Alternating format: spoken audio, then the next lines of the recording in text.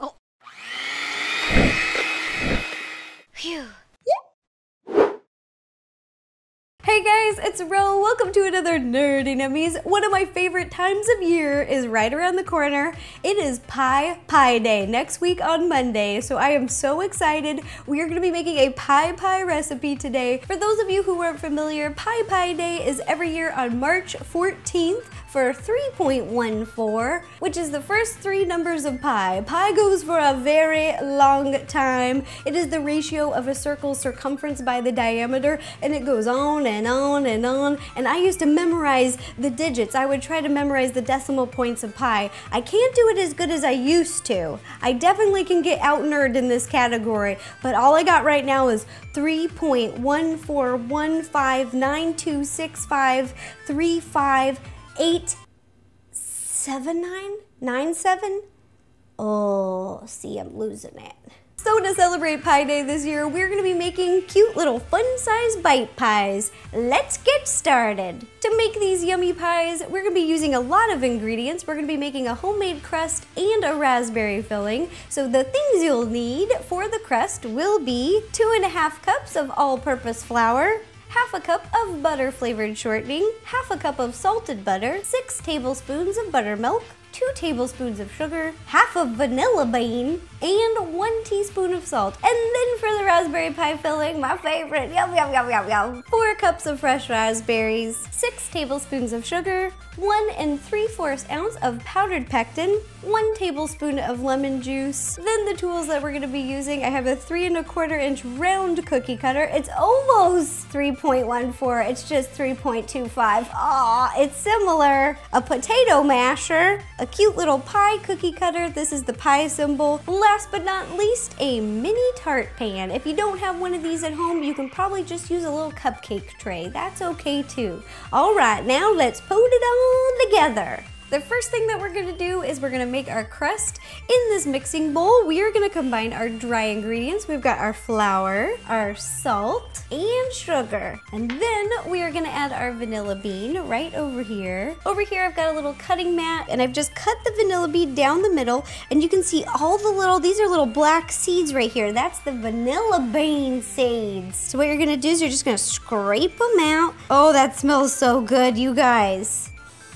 Oh yeah, and we're just gonna put in our dry ingredients. Get in there, little vanilla beans. Leave no vanilla bean behind. You don't want to because buying vanilla beans is a little bit expensive. So what you can do is with the leftover pod, instead of just tossing it, you can save it later to make pudding. Now you can just use your hands, give your dry ingredients a little toss. Here we go. All right, now we're gonna add our butter and the shortening. We're gonna mix the butter into the flour together until you can't see any more butter chunks. Lastly, we're gonna add in our buttermilk and we're gonna keep mixing until it's all combined. It might be a little bit dry, but that's okay. Once it's mixed in, you're gonna try to form a big ball with your dough. Here we go. Now we've made our pie crust and it's time to chill it. We're gonna wrap it in plastic wrap.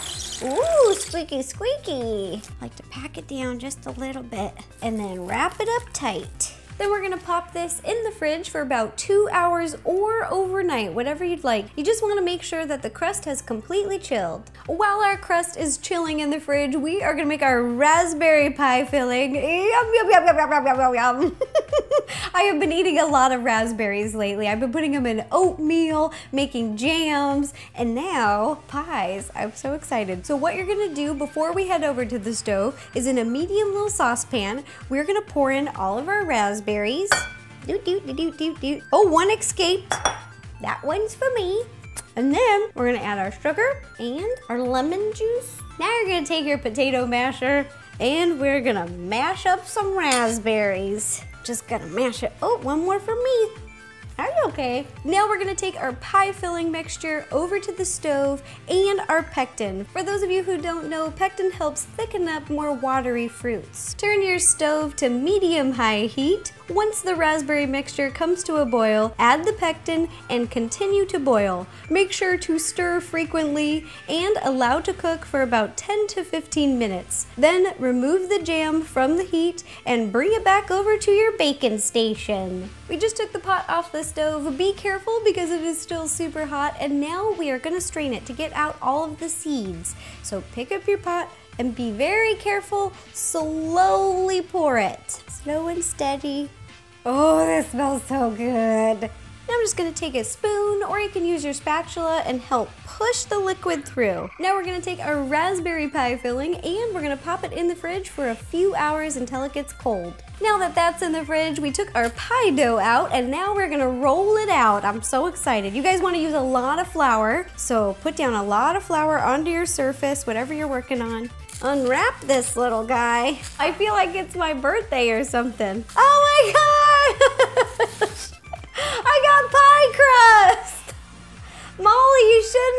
And I'm gonna put a little flour on my rolling pin so it won't stick. And here's where you gotta use those muscles. Gotta use those shoulders. We've got our dough rolled out and now we're gonna cut out our circles first. I'm gonna try to get 12 of these, but you can always take the excess pie crust, re-roll it, to do it again. And I'm gonna cut out some pi symbols now and then I'm gonna re-roll the scraps to cut out some more. You want just as many pi symbols as circles. We've got all of our circles and pi symbols cut out and now we're gonna put them in the pan. But first we're gonna take a little pastry brush and we're just gonna brush off all of the excess flour. Then you're gonna get your tart tray and you're gonna pick up a circle, place it right in the middle and press it down. Make sure it's touching all of the sides and you can use your fingers to kind of make a little crust edging. Look at that. Then you're gonna do this to the rest of the circles. All right, our pie crusts are ready, and now we're gonna get our little pi symbols ready. So over here, I have a baking sheet, which I've lined with a big piece of parchment paper. Then you're gonna transfer all your little pi symbols to the baking sheet. Just make sure the little swoosh is on the right. Got all of our little pi symbols on the tray, and now we are gonna put a little bit of egg wash over each of them. The ratio that I'm using is one egg yolk to two egg whites, a little bit of salt, and again, just using a little bacon brush, just get a little bit on there. Then we just paint them. This gives them a nice shiny gold color when they bake. I'm gonna put these to the side, and now Ooh, we're gonna fill our pies with the raspberry filling. I got the raspberry pie filling out of the fridge. We're just gonna scoop in a nice big spoonful in there. You don't wanna overfill them, but do fill them to the line. Now our pies are ready to bake. You're gonna heat your oven to 350 and we're gonna bake these both for about 15 to 18 minutes. And it's totally fine to bake them at the same time. Our pies are out of the oven. They've had plenty of time to cool. I've popped them out onto a little plate, and now we are going to assemble them. This is the fun and easy part. Ready for this? Little pi symbol, and then we're just gonna place it on the top. Boom, just like that. Now we're gonna do this to the rest of your pies. Here are the mini raspberry pi pies that we made today. Look at them, they're so cute. They're perfect for pi day, and we made so many of them that they are the perfect treat to share with friends, family, or classmates. You could bring these to math class. That's what I would do if I was still in school. I'll be taking lots of pictures of these yummy little pies and posting pictures on Facebook, Tumblr, Instagram, and Twitter. And if you guys make these or any other pie pie themed treat, please take a picture and send it to me. I love seeing your baking creations. It just makes my day. And if you have any other ideas, videos, and TWs, please let me know. Leave me a comment down below and I will do my best to make it happen. All right, thanks again, you guys. Bye-bye and happy Pi Day. And I will have one for me. Ooh. Mmm. You guys, this crust is perfect. This pie crust is just the perfect flaky yumminess, let me tell you. I might have to make another batch for friends because I think these are gonna be for me. That's.